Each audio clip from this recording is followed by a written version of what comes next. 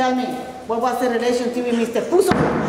Well, fucking Pussum, yeah, is such a twat that I ended up flipping.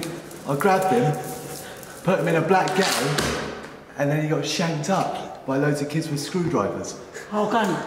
How come? Because he can perform very well. You gay? Yeah. Huh.